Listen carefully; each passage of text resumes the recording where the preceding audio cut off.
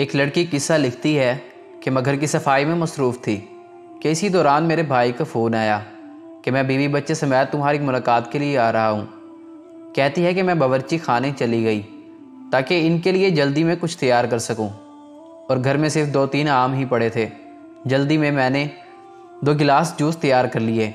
जब वो आए तो भाई के साथ इनकी सास भी थी, जो कि इससे पहले कभी भी नहीं आई थी। तो मैंने दो गिलास माँ और बेटी के सामने रख दिए। और पानी का गिलास भाई के सामने रख कर कहा, कि मुझे मालूम है कि आपको सेवन अप पसंद है।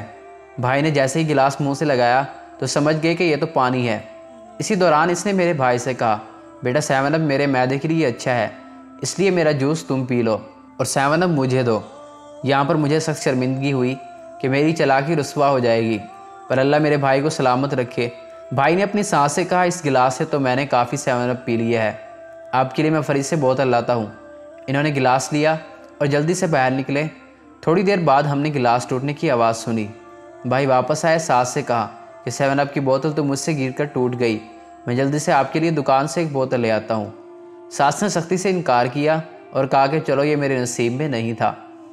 जब वह रुखसत होने लगे तो भाई पीछे रहे। खुदाफिज कहा और उसी दौरान मेरे हाथ में पैसे भी थमा दिए और मुस्कुराकर बोले, मेरी प्यारी बहन, किचन में गिरी हुई सेवन अप की जगह धो डालना। इस तरह मेरे प्यारे भाई ने मेरी माली कमज़ोरी पर पर्दा डाला और मेरे साथ हमदर्दी से मदद भी की। मोहब्बत के साथ रहें, अपनी बहनों का ख़ास ख्याल रखें और दूसरों की बहनों को इज़्ज़त की निगाह से देखें कि यही हमारे मज़हब और माशरे का सुनहरी असूल है।